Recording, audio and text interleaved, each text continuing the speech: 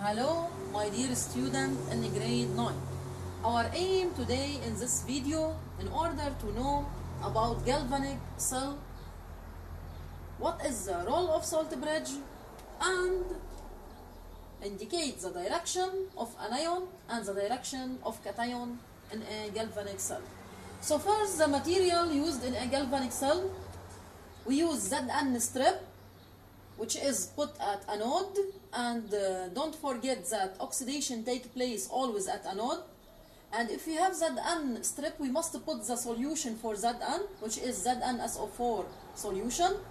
And also at cathode we put Cu strip. And also because we have Cu strip we put the solution of Cu which is CuSO4 solution. At cathode always reduction take place. Don't forget. So anode oxidation cathode reduction take place. And we have connecting wire and also we have lamp. So what is the role of salt bridge? Salt bridge is this that connects the two beaker what is the role of salt bridge? To keep electron neutrality in both two beakers as in order to keep electron neutrality how? By anions which is minus in salt bridge we have cation anion and A plus Cl minus inside salt bridge.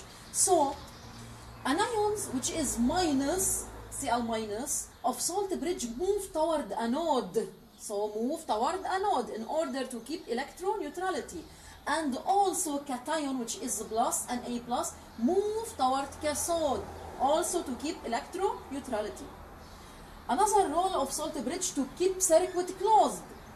If we don't put salt bridge, no reaction taking place. Because salt bridge allow to keep circuit closed. And also to prevent the mix of two solution. Because every solution put in a beaker alone. In order to prevent the mix of two solution we put a salt bridge. So application indicate the direction of anions and cations in salt bridge. We have in salt bridge Na plus and Cl minus. Cl minus which is anion. We said always that anion move toward anode. Why? To keep electron neutrality. Excellent and also cation which is Na plus move toward cathode excellent. Why? In order to keep electron neutrality لنحافظ على توازن good.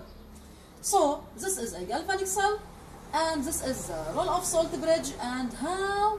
Direction of anion and cation inside a salt bridge move to keep electron neutrality